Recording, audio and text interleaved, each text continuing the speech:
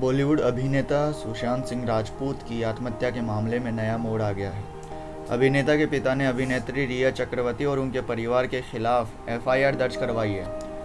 सुशांत सिंह राजपूत के मरने से पहले तक रिया चक्रवर्ती उनकी गर्लफ्रेंड थी। इसके बाद ही सुशांत सिंह राजपूत के पिता के के सिंह ने रिया चक्रवर्ती पर आत्महत्या के लिए उकसाने सहित और कई गंभीर आरोप लगाए हैं।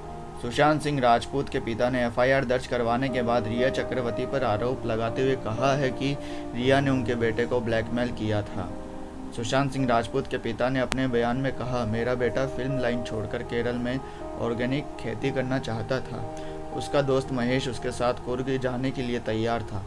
तब रिया ने इस बात का विरोध किया था कि तुम कहीं नहीं जाओगे और अगर मेरी बात नहीं मानोगे तो मैं मीडिया में तुम्हारी मेडिकल रिपोर्ट दे दूँगी और सबको बता दूँगी कि तुम पागल हो। सुशांत सिंह राजपूत के पिता ने अपने बयान में आगे कहा, जब रिया ने देखा कि सुशांत उसकी बात नहीं मान रहा था और उसका बैंक बैलेंस भी कम हो रहा है तो रिया को लगा कि अब सुशांत उसके किसी काम का नहीं है। बयान में दावा किया गया है कि 8 जून तक रिया चक्रवर्ती सुशांत सिंह राजपूत के साथ रह रही थी। इसके बाद वो घर से सारा सामान, नकदी, जेवरात, लैपटॉप, पासवर्ड, क्रेडिट कार्ड और उनके पिन नंबर सुशांत के ज़रूरी दस्तावेज़ और इलाज के सारे कागज़ लेकर चली गई।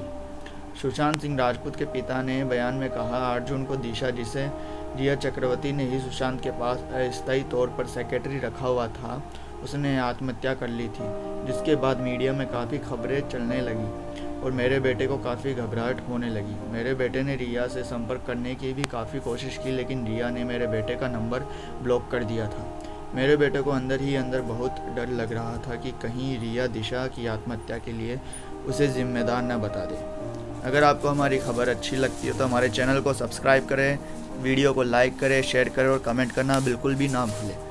और बेल आइकन दबाइए ताकि हमारी नई खबरें आप तक जल्दी से पहुँच जाएँ।